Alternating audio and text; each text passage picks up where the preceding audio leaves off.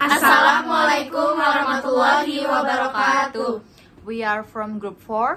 And first, we will introduce our team. My name is Sanif Datul Ilmi Pranata. My name is Asrianti Putra Adelina. My name is Adelia Nanda Devinta. My name is Herwidia Sugian. My name is Alfa Nur Zikria. My name is Fitria Fani Melinia. Check it out!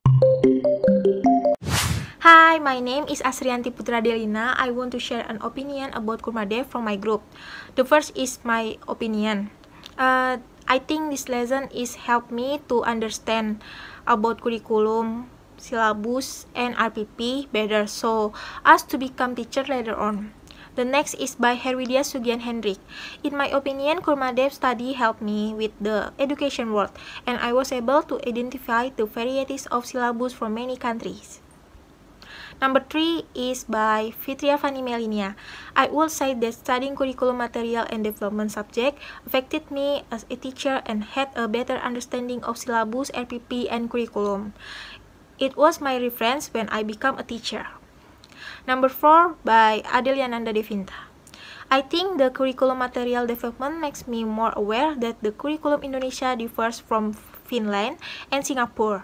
Help me better know what I will teach later if I become a teacher. Number five is by Elva Nurzikria. According to me of this lesson, I am able to understand more widely with uh, what is meant by the curriculum syllabus and RPP. Uh, last but not least is by Sanyarif Datul Ilmi Pranata. In my point of view, this lesson helped me to get more knowledge about curriculum in many school and useful for my future if I want to be a teacher. Thank you. Hi, I'm Elva Nur Zikria. I want to tell you about definition of syllabus. Syllabus is simply an outline and timeline of particular course. It will typically give a brief of view of the course objective, of course expectation, and list of reading excitement homework deadlines, and excitement dates. Jadi, silabus dapat didefinisikan sebagai garis besar, ringkasan, atau pokok-pokok isi atau materi pelajaran dalam satu semester. And I want to tell you about definition of lesson plan. Lesson plan is a plan that describes the procedure and organization of learning to achieve one basic competence set in the context and described in the syllabus. Nah, lesson plan ini kalau dalam bahasa Indonesia artinya adalah RPP, yaitu pegangan seorang guru dalam mengajar di dalam kelas. RPP dibuat oleh guru untuk membantunya dalam mengajar agar sesuai dengan standar kompetensi dan kompetensi dasar pada hari tersebut. Halo, I'm Herwidia Sugian Hendrik. In this slide, I want to tell you about definition of curriculum. Curriculum is the central guide for all educator as to what is essential for teaching and learning. Jadi, kurikulum yaitu penuntun utama bagi semua pendidik mengenai apa yang penting untuk pengajaran dan pembelajaran. Nah, di mana di dalamnya terdapat rancangan pembelajaran yang akan didapatkan oleh peserta didik dalam satu periode. Atau yang biasa kita kenal yaitu perangkat mata pelajaran yang terdapat pada satu lembaga pendidikan untuk mengarahkan proses belajar mengajar agar berjalan dengan teratur. Assalamualaikum warahmatullahi wabarakatuh. My name is Adelia Nana Devinta. I want to explain the findings one uh, in slide on side, and I want to explain curriculum first. Curriculum subject set which consists of study program provided by an educational provider in which there is a goal that students will get in one period of education. Atau uh, yang lebih kita singkatnya adalah kurikulum adalah suatu rencana pembelajaran yang dibuat oleh lembaga pemerintahan dan biasanya uh, membutuhkan periode yang sangat lama untuk mencapai atau mendapat dari hasil akhir pembelajaran tersebut. And the second, syllabus. Syllabus is a set of plan and implementation of learning and estimate that are arranged of system systemically. Apa yang biasa kita kenal, syllabus itu adalah suatu rencana susunan pembelajaran pada mata pelajaran tertentu. Biasanya jika itu bahasa Indonesia, maka syllabusnya adalah isi dari pembelajaran bahasa Indonesia. And the last, lesson plan. Lesson plan is a planning process carried out by the teacher before carrying out teaching or learning and activities. Atau yang biasa kita kenal RPP, itu uh, adalah suatu rencana pembelajaran untuk mencapai kompetensi dasar dan biasanya setiap guru wajib membuat RPP agar uh, mereka mengajarnya lebih terstruktur dan rapi dan bisa membuat uh, bakat atau skill siswanya lebih terasah. My name is Fitria Fani Melinia. I want to explain about komponen silabus. Silabus mempunyai lima macam komponennya, yaitu ada um, Kompetensi dasar. Kompetensi dasar adalah rincian dari standar kompetensi berisi pengetahuan, keterampilan, dan sikap yang secara minimal harus dikuasai oleh siswa. Yang kedua adalah indikator pembelajaran. Indikator pembelajaran merupakan penanda pencapaian kompetensi dasar yang telah ditandai oleh perubahan perilaku yang dapat diukur yang mencakup sikap, sikap, pengetahuan, dan keterampilan. Indikator dikembangkan sesuai dengan karakteristik peserta didik, satuan pendidikan, dan juga potensi daerah. Indikator digunakan sebagai dasar untuk menyusun alat penilaian.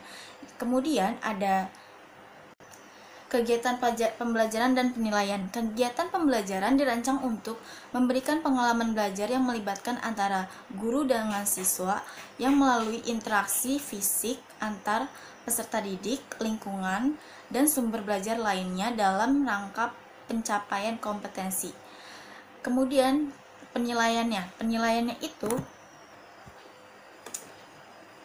penilaiannya itu bisa berupa non tes atau tes, bisa juga lewat lisan, bisa juga lewat tertulis.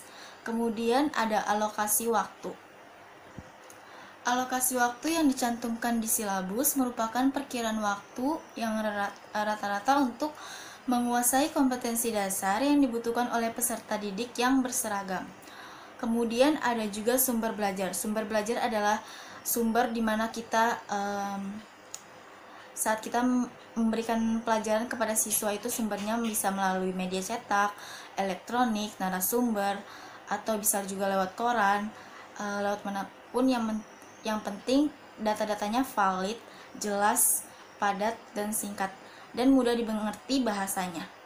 Terima kasih. My name is Ania. I will explain our second findings.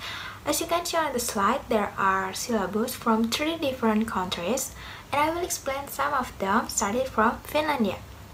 In Finland, there is not an environment of competition.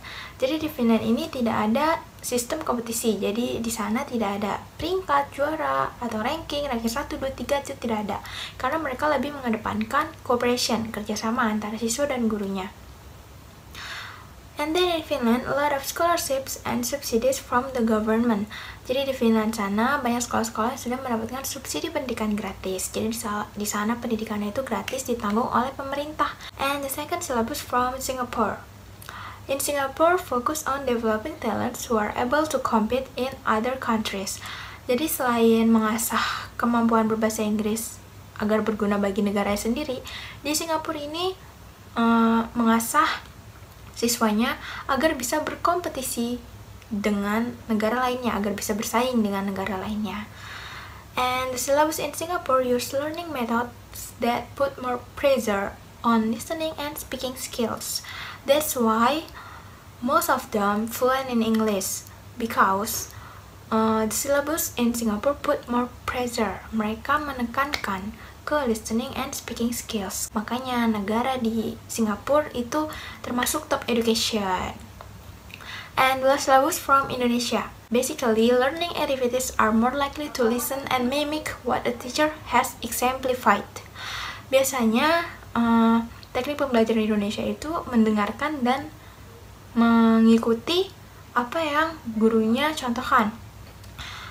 For example, di mat matkul pronunciation di mata kuliah pronunciation itu pasti dosennya mencontohkan terlebih dahulu bagaimana cara cara uh, pronounce huruf-huruf. Lalu mahasiswanya akan uh, mendengarkan dengan seksama lalu mengikuti apa yang dosennya sebelumnya contohkan. And that's all from me. Thank you for your attention. We hope this video useful for you all Hope you like it. Thank you. Wassalamualaikum warahmatullahi wabarakatuh. See you next